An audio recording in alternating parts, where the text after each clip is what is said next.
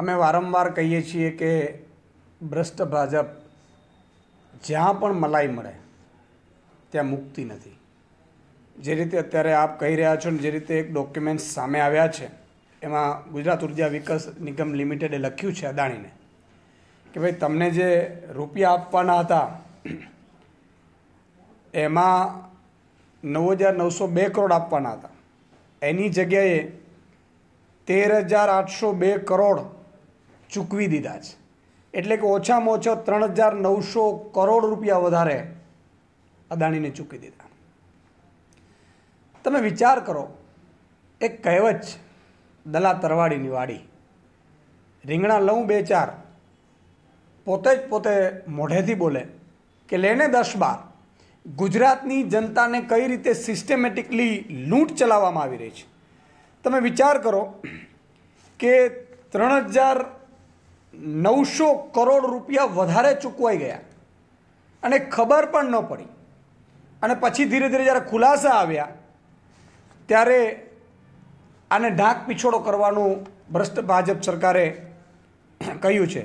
પહેલાં પીપીએ કર્યું હતું ગુજરાત સરકાર અને અદાણી પાવર મુન્દ્રા લિમિટેડે.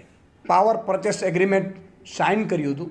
અને સાઇનમાં એવું નક્કી થયું હતું કે જે રીતે જે પાંચ વર્ષમાં જે ભાવ આવે, એ ભાવે એની તુલના કરી અને ભાવ લગાડવાના. ત્યારે દુઃખ સાથે કહેવું પડે છે કે અદાણીજીએ એની કંપની અદાણી પાવર મુન્દ્રા લિમિટેડે પાંચ વર્ષમાં કોઈ જ કાગળ આપ્યા નહીં, ચાર્જીસના. અને આજે જે રીતે આખી ચિઠ્ઠી સામે આવી છે, ગુજરાત ઊર્જા વિકાસ નિગમ લિમિટેડે જે અદાણી પાવર મુદ્રા લિમિટેડને જે લખ્યું છે, અને અમે વારંવાર કહીએ છીએ કે અદાણીનીજીને આટલા ફાયદા કેમ કરાવવામાં આવે છે? એરપોર્ટ અદાણીને, ટ્રેન અદાણીને પોર્ટ અદાણીને, આ બધું શું કામ થઈ રહ્યું છે? ઉર્જામાં અદાણીને, અને આ અદાણીને જે રૂપિયા આપવામાં આવે છે, એમાં ગુજરાતની જનતાના ત્રણ હજાર નવસો કરોડ રૂપિયા, આ તો એક ઘટનામાં ગયા. એવું સ્પષ્ટપણે આમાં લાગી રહ્યું છે. તો શું આમાં ઈડી આવશે? આમ આદમી પાર્ટી ડિમાન્ડ કરી રહી છે કે આમાં ઈડીની તપાસ કરવામાં આવે. હજારો કરોડનો આમાં ઘોટાળો થયો છે ને ખુદ ઊર્જા વિકાસ લિગન- લિમિટેડે લખ્યું પણ છે આમાં.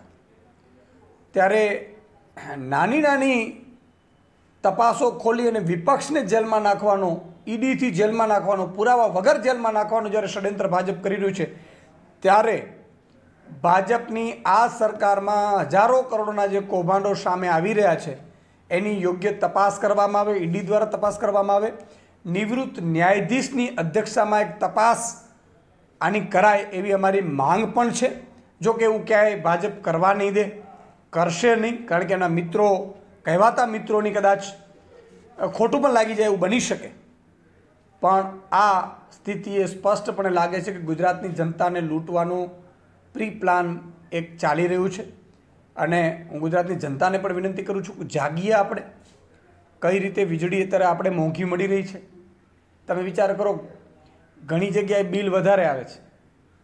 તો વપરાશકારોને એમ થાય છે કે અમે વધારે વાપરીએ છીએ.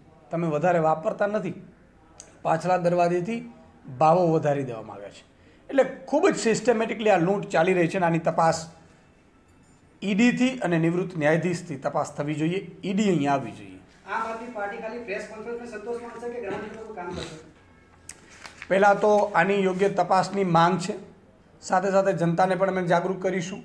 જરૂર પડે અમે સમગ્ર ગુજરાતમાં મામલે આવેદનપત્રો પણ આપીશું અને જરૂર પડે રસ્તા ઉપર પણ ઉતરીશું.